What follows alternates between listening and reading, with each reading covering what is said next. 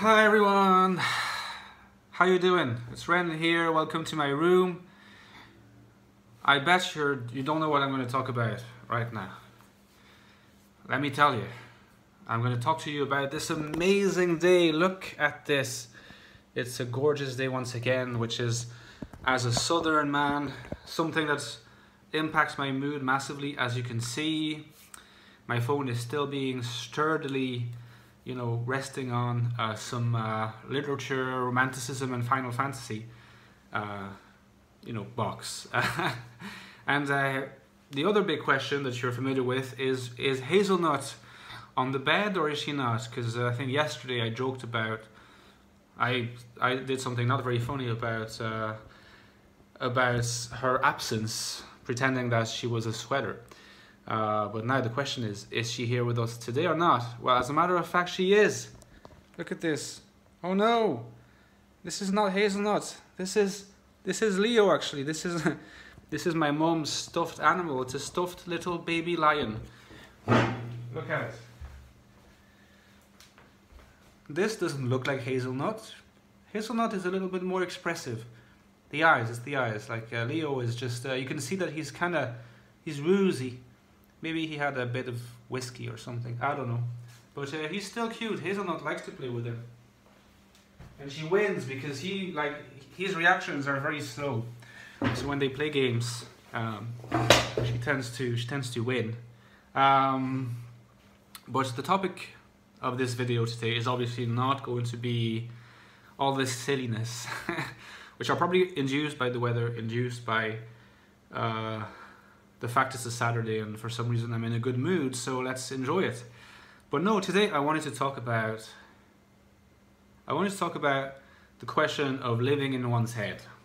Because it's a very common it's a very common trait that is associated with people of the in the MBTI parlance people of the introverted intuitive or sorry I meant to say yeah intro introverted and intuitive type. I should I should rather specify, including introverted intuitives, but also introverted feelers, also introverted thinkers, and I think that's it. Yes.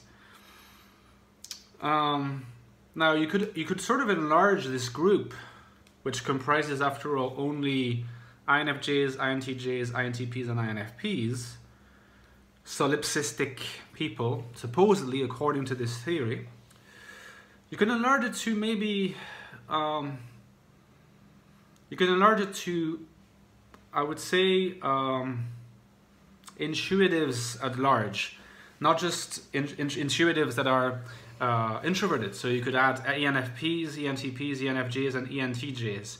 Tentatively, I'm not saying this is true because we're going to go into detail a little bit about whether that really applies. Um, let's say that, for example, it's not clear to me that an ENTJ lives in their heads that much, or that an ENFJ lives in their heads that much.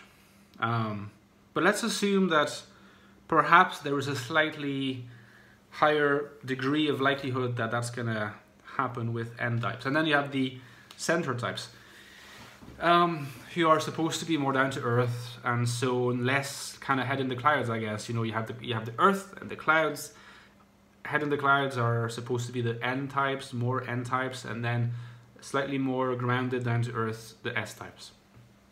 Um, it's what's what I find really interesting about um, about the Jung functional analysis and and the Myers Briggs model based on Jung's work is is that in a sense it, it, it it's and I think potentially that's why I find it so attractive. On top of it being interested, I, I, I find like I have almost an emotional vested interest in it, in that model, is that it seems to to propose or to to, to further and to facilitate a, a kind of new evaluation of personality according to which it's it's no longer it's no longer an issue to be an introvert, it's no longer an issue to be absent-minded potentially if you're like a head in the clouds kind of person it these can be strengths i think that until i came until I, I came into contact with this model I'd always been used to hearing or to to imagining that the norms were more towards you know like types that ought to be envied. Uh, this is not rational, but this is what was in my mind, and I think in what was in the minds of a lot of people, especially introverts. You know, types to be envied were the more extroverted and more grounded types because they knew they just had more know-how about how to deal with the world. They were more streetwise, you know, in a way. Uh, and what's and that's I think something that I had been kind of exposed to and that I had experienced myself when I was in school, especially, and and even after that. But models like the MBTI, in in a sense, they do contribute to like a slight reshifting of the valuation. Where well, you could almost argue that the N types are now the ones that are arbitrarily considered kind of the, the, enviable ones. Uh, but supposing that you don't subscribe to that, which I I hope you don't, and I do not myself. Um, there is still definitely a sense in which like an N-type, an introverted N-type, can be seen as as a really worthy, valuable type. You know, not just a weird, awkward human being that doesn't know how to deal with people socially. um, and so I like that about the model. Um, that was for a little aside. Now, the other aspect of this is N types absent-minded or living in one's mind, living in one's head. How true is that? And how true is it of the INFJ? And is the distinction between S types and N types valid as regards this kind of solipsism, right? Because okay, I, I, I use the term solipsism for the tendency to uh, live in one's mind and, and sort of be out of it, out of touch with the external world. Now, it's a technical term, but I want to use it now that I've made it clear to you what it is in case you're not familiar with the term because I don't want to be constantly repeating living in one's head or having a head in the clouds. So solipsism, solips, being solipsistic. Um, you know what? I think that it's kind of it's not so easy to answer this question. I find that there's two questions here that I, I find particularly interesting or particularly fun, let's say. Fun to, to, to, to try to think about. The first would be what would be the, the best criterion of demarcation between types that are not particularly um, solipsistic, head in the clouds, and those who are more likely to be. What is the line? Is it really uh, sensing versus intuition? Or is it more feeling versus thinking? Or is it more introversion versus extroversion? There are lots of different layers here, and there's probably also uh, the perception versus judgment. So even if you take the dichotomy of the letters, there is a sense in which all four letters potentially contribute to this uh, solipsism or absence thereof. And so it would be interesting to try to to try to grasp um, which combination is the most likely to, to contribute to solipsism and which combination is the least likely. Now, the second thing, the second topic that I, would be fun to discuss, in my opinion, would be to try to determine which which is the most solipsistic type, not necessarily, like not by some sort of necessary causation thing, but just prob probably probabilistically, probabilistically, you know, um, based on say like the function use, um, and potentially also real life examples. So um, for example, I am often described by friends and by family as one of the most solipsistic people they've ever met. Uh, and I don't think I've ever met anybody who was more than me, to be honest. Uh, so, which is kind of not necessarily a good thing. If it's if you're too far down that road, you can end up sort of living in some alternate reality where what you think is true, what you think is moral, what you think is you know has any sort of normative dimension to it is reached without consultation of other people. Now that's not something I do, but in other ways I can just be really absorbed in my own mind, which is why I often uh, describe myself as self-absorbed, because that's kind of what I am, and I think a lot of INFJs are self-absorbed. They're not self, um, they're not self-centered necessarily, you know, or they're not necessarily self-important, but I think self-absorbed absorbed into themselves, not by not by any means the only ones, but I, I will offer my little theory later as regards to that and and uh, you know, as regards trying to come to come across or to to you know to come up with a, a, let's say like a top three, top four um, of of the most likely to be uh, solipsistic kind of types. But perhaps let's keep this for last because this is another exciting aspect. So first of all, let's try to think about what could be this line of demarcation. So here's the thing. If I began with examples, I would say, and this I know that examples are, as a friend would say, idiographic uh, and local in many ways, and they do not have nomothetic, general, uh, law-like uh, validity. Um, but they can be quite telling. So, for example, if if you if we can if you if we look at my family, right? So there there's surviving members in my family, core family. There's five of us. It's my dad. There's my mom. There's my brother. There's my granny, and there's my my maternal granny, and then there's myself. My granny is ESTJ. I'm INFJ. My brother is INFP. My dad's ENFJ, and my mother is ISFP. Now if I had to rank, if I had to rank people by the order of solipsism, how would I rank them? Um, you know, I would say that for sure the ones who is least head in the clouds is my granny, the ESTJ one. She's she's very practical, very pragmatic, in touch with the real world, and she doesn't seem to be often uh, stricken by these attacks of thoughts that are intrusive or that are not necessarily intrusive, that are enjoyable, but are just there and they have to be negotiated with.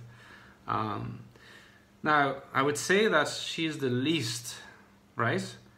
But, and I would say that I'm the most. I'm the most. I'm the one who's, who's always, like, when I'm at home, when people, like, interact with me, it may not come across in the videos because you see this particular kind of social aspect of me, but um, I, half of the time people feel as if they have to wake me up because I'm so focused on something and I'm just in my mind, you know. So they can't just come up to me and, and say, "Oh, by the way, like Ren, uh, can you do this for me, or can we just talk about this, or anything?" It's, it's almost like, "Ren, like, are you here?" You know, it's it's it's a very common thing, and my brother uh, somewhat jocularly commented on that. I think um, in a, in one of the in one of the discussion videos we did together. So I'm, I'm, I'm the most and my granny is the least. So INFJ the most, ESTJ the least. Now between my dad, my, my brother and my mother, uh, it's not so easily determined. I would say that, you know, what I would say is that all of them are equally kind of they spend quite a bit of time in their in their heads, and you might think, well, this is this is uh, maybe perhaps a bit surprising on the part of my ENFJ dad. I think my ENFJ dad does not spend lots of time thinking about his feelings, but he thinks about stuff a lot. And when he's driving, sometimes if I look at him, we're not talking, but someone like he's doing like this. He's he's kind of talking to himself, and and he's he's not vocalizing it, but he's making like he's the lips are moving as if he were really talking. So and he does that a lot. So I think that he's he does a lot of it, and you can notice. Like my my my dad and my mom, even though they're so different, they forget. Like whenever they go somewhere, they forget things. Um, my mom usually forgets things and then just spends the whole day without them, and then sometimes takes days to find where they are. And sometimes it's her phone or her computer, and she does that a lot. She's a, she's a sensor, but she is she's probably number two. You know, she's probably number two, I think, after me. Um, my brother and my dad are probably again quite they're they're very dissimilar, but I think they are probably number three sort of equals. Because my brother does not come across as particularly absent-minded, but he does spend a lot of time in his head. In his head, I, I do know that. Uh, but he's not as absent-minded as I am, or my mother is, or even my dad is. Um, and my dad, I would say that I don't know. It's it's it's like he has those moments where he's just completely lost in space, but then he comes back kind of quickly. So it's a, uh, you see the, the the, the hierarchy features the sensor as the one of the sensors in the family as the least head in the clouds and an intuitive as the most, but in the middle it's actually a sensor who's kind of close to me and more head in the clouds than two intuitives, my dad and my brother. So that's an example, and that's not necessarily illustrative of uh, you know of a general law, like I was saying. But it seems to me that it seems to me that honestly, I wonder if the likelihoods, based on my observations of people, the likelihoods of being kind of head in the clouds might not be. I don't know. I think that's the the most likely to be are the introverted intuitives because they are introverted, and because they are abstract. Um, so there's there's they're they're turned towards themselves in a certain sense for for a lot of their ideation, and they're abstract. Um, but then after that, I think it's a bit of a of an, a disputed ground. I think between the intuitives that are extroverted, so the uh, EN types, and then the the sensors that are introverted and perceiving. You know, it seems to me that that the sensors that are that are introverted but judging, like ISFJs and ISTJs, it seems to me that these are not to head in the clouds because they use SI together with an extroverted judgment function. And I think it seems to me that SI together with an extroverted judgment function seems to be very grounded. SI, despite being a perceiving function, seems very grounded in the real world, in the order of things, not head in the clouds. Like SI is not a domain of clouds; it's a domain of it's a terrestrial domain. It seems to me. Um, so extroverted sensors, I would say none of them would be particularly head in the clouds, but there can definitely be exceptions. Uh, I would say introverted sensors that are judgers not likely to be head in the clouds, but in, introverted sensors that are intuitives, like ISFPs and ISTPs, well, you see, uh, sorry, I meant introverted sensors that are perceivers, not intuitives. ISTPs would they be lost in their in their thoughts? I don't know enough ISTPs to know that. Maybe you maybe there are some ISTPs watching my channel. You can let me know. I don't know enough. I'd, I'd imagine that ISTPs, because they use TI and SE, are not particularly head in the clouds. But my ISFP mum, I don't know if she is an exception among ISFPs or if she is indicative, you know, with the stack F, FI, and I of a potentially very somewhat absent-minded, someone in her mind kind of person, uh, or rather, I should say, very. Um, so the, the, the location, you know, the in that hierarchy of the ISFP seems to me potentially uh, potentially dissimilar to that of the other sensor types, possibly. Perhaps the other sensor types are not counting the ISFP more likely to be to be solid to be not solipsistic because they're down to earth grounded etc and then among the i would say that if there should be exceptions among the the intuitive types among the extroverts in the intuitive types, pure based purely on intuition, I would say ENTJs because because of their dominant E, which is a very grounded, which is a very grounded function, and then uh, when it's dominance, and and then you know it deals with the external logic of the real world, um, and also the fact that their SE is quite is quite uh, is quite high up. It can be quite well developed, and SE is a grounded function as well, and by extension, that can apply to ENFJs as well, uh, although perhaps a little bit less, right? Um, so that's for my preliminary discussion. I, I guess I'll, I'll, give myself another five, six minutes to talk about uh, the question of who is the most solipsistic of the solipsistic. I think traditionally, and this is this is this is again intuition speaking, but it seems to me that like the the debate is between INTP and INFJ. Um, because because um, well that's a good question. Why? Why is that the case? I think well because they're introverted uh, intuitives so quite likely to, to, to have that solipsistic aspect to their personality and their their kind of cognitive their cognitive world. Uh, I think the INF, INTJ, uh, despite being a dominant perceiver, is not included usually in in being up there with the INTP and the INFJ because of TE. And what I described in the case of the ENTJ applies to the INTJ, less so because their TE is only auxiliary, but still gives gives them sort of a, a connection, a, a functional connection with the logic of the real world that tends to ground them, I think, more directly than INFJs and INTPs. The thing of, the thing about the thing about INTPs and INFPs is that like even if we don't mention the INFJ for now, like INFPs to me are not necessarily less in their minds than INTPs from my experience. INTPs they like talking about real real world stuff. They spend a lot of time thinking, but uh, you know they've got SI, some sometimes quite well developed, um, and it seems to me that they don't necessarily they don't necessarily like to um, to just explore they, they like to they like to explore abstract stuff for the sake of it it's true.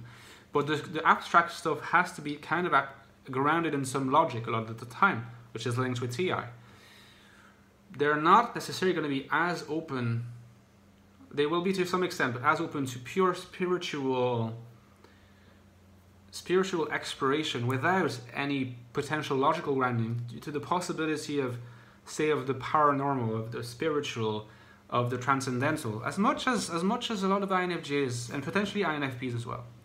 Uh, and I think that's because NF, NF idealists, in some ways, can be seen depending on how you look at the, the debate.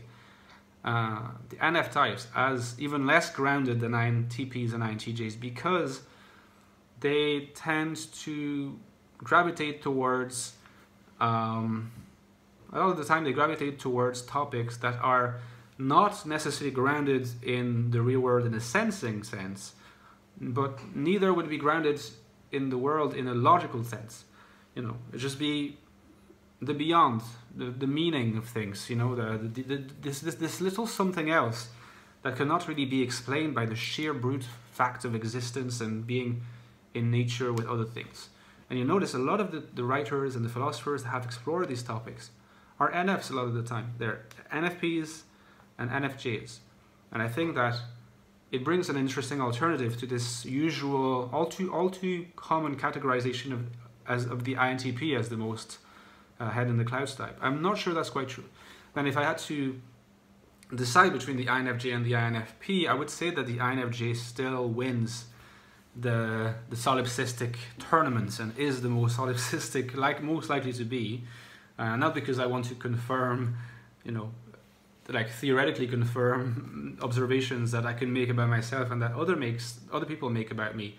But also you know simply looking at the functions it's true that we have FE and that's probably what's keeping us in touch with the real world. But in other ways for like, especially a lot of INFJ males, you have well-developed TI and well-developed NI. I mean, when you're an NI-TI loop, what is what is more solipsistic than an NI-TI loop? These are probably the two most abstract functions.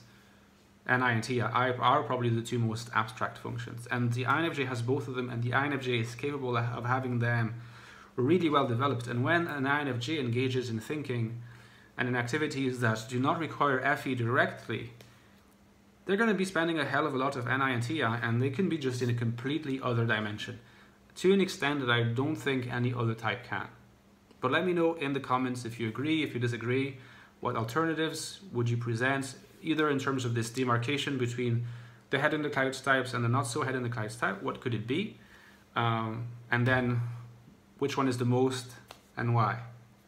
All right, enjoy the rest of your weekend, guys. I thought I hope this was interesting and I'll be catching you very soon, either tomorrow or next week. See ya!